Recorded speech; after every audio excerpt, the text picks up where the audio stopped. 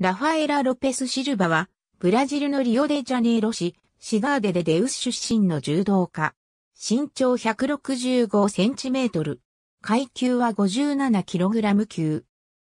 映画シティオブゴッドの舞台ともなったリオデジャネイロの西部にあるファベーラ、シダーデでデウスという麻薬と暴力が渦巻くと言われるスラム街に生まれるが、8歳の時に姉のラケル・シルバと共に柔道を習い始めると、アテネオリンピック柔道 81kg 級、銅メダリストのフラビオ・カントが代表を務める NGO 組織、レアソンの支援のもとでさらに力をつけ始め、2008年の世界ジュニアでは16歳で優勝を飾った。2009年の世界選手権では準々決勝で日本の松本薫に指導2で敗れるなどして5位となった。2010年の世界選手権では初戦で日本の宇高内に判定で敗れた。2011年の世界選手権では決勝まで進むも、日本の佐藤愛子の背負い投げで一本負けして2位に終わった。このように、シルバは国際大会で活躍することによって国から毎月1500レアルの報奨金の他に、スポンサーから巨額の支援を受けることで現在はスラム街から脱出して生活はかなり楽になったという。2012年7月のロンドンオリンピックでは2回戦で、ハンガリーのヘドビグ・カラカスを相手に優勢に試合を進めて、肩車で一旦は技ありを取ったものの足を掴んでかけた技と判断されて反則負けになった。その試合後、ツイッターには黒人だから劣っているなどの人種差別的な抽象が多数寄せられると、シルバもクソったれ、バカ野郎などと応戦したが、後に乱暴な言葉遣いについては謝罪した。この件に関して、ブラジルオリンピック委員会はシルバーへの差別発言を投稿した者に対する法的措置の検討を表明した。また、スポーツ大臣も、この一件に関する捜査を連邦警察に要請した。ロンドンオリンピック以降は階級を63キログラム級に上げたが、思ったほど芳しい成績を上げられなかったため再び階級を 57kg 級に下げた。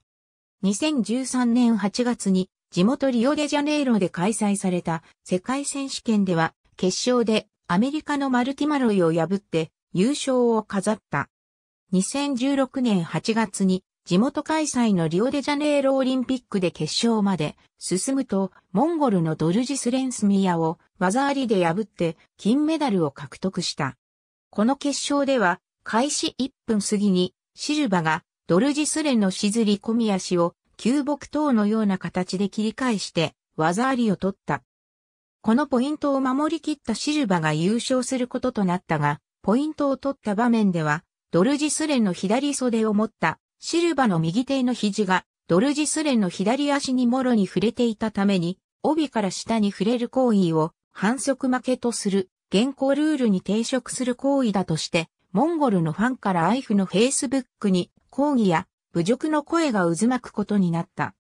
これに対してアイフは、シルバはポイントを取った際に標準的な組み方をしており、テクニカルアセスメントに記されている。一人が両手でしっかりと組んで攻撃している場合、攻撃中にジュの足に触れても良いにより、シルバの攻撃に問題はなかったとの公式見解を示した。大会後のインタビューでは、私が檻の中に入れられるべきと言った人たちがいましたが、このメダルが彼らへの私からの回答ですと語った。また、LGBT であることを明らかにした。2017年の世界選手権では、初戦でポルトガルのテルマ・モンテーロに敗れるも、世界団体では2位となった。2018年の世界選手権では、初戦でカナダのジェシカ・クリムカイトに敗れた。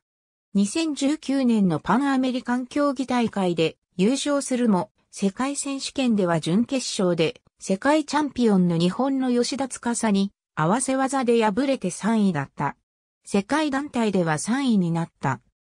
その後、パンアメリカン競技大会で優勝した際のドーピング検査で喘息などの治療に用いられるフェノテロールの陽性反応を示したことにより金メダルを剥奪された。シルバ側は喘息を患った乳児と接触していたことが原因だと弁明している。その直後に地元で開催されたグランドスラムブラジリアに出場して3位になると、ミリタリーワールドゲームズでは優勝した。2020年1月に、アイフはパンアメリカン競技大会におけるドーピング違反を理由にシルバに対して2年間の出場停止処分を課した。シルバ側は CAS に処分の不服を申し立てるという。2020年12月21日、CAS はシルバ側の訴えを棄却。処分が確定し、2020年東京オリンピックへの出場が不可能になった。2021年1月には総合格闘技へ転向するとも報じられたが、フェイクニュースだとして、それを否定した。2014年までに初段を取得。アイフ世界ランキングは2819ポイント、獲得で15位。63kg 級での戦績 57kg 級での戦績。ありがとうございます。